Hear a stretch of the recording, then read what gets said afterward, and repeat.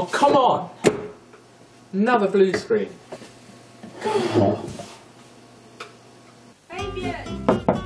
Fabien! Fabien! Here's your new laptop! Oh, thanks, Mum. It better not have Internet Explorer on it, though. What the hell?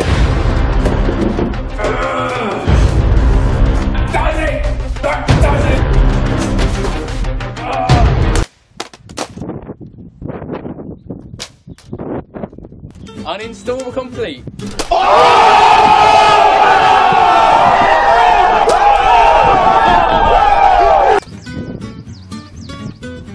Fabien, what have you done? Look! But it had Internet Explorer on it. Ah, okay. That's fine.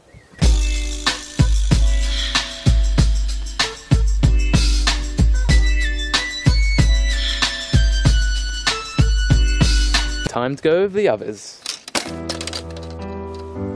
Kids in Africa could have eaten these laptops. Please donate your spare ones today. Feed Africa.